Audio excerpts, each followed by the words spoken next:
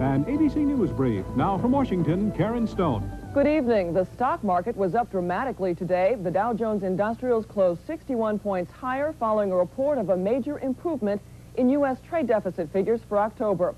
On the minus side, though, House Majority Leader Thomas Foley says he does not expect an early resolution of the White House congressional talks on reducing the federal budget deficit. An agreement may take until next week.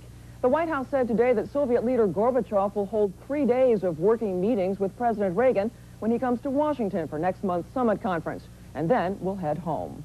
Judge Anthony Kennedy, President Reagan's new Supreme Court nominee, was on Capitol Hill today to drum up support for his nomination. In New York, funeral services were held for Elizabeth Steinberg, the six-year-old child abuse victim whose adoptive father is accused of beating her to death. And some happier news from Beijing the opening of mainland China's first American fast food restaurant. And later on Nightline, how can anyone pay more than $50 million for a painting and feel they got their money's worth? Ted Koppel's guests include the North American chairman of Sotheby's, whose auction of Van Gogh's irises has set a new world record price. That's News Brief. More news later.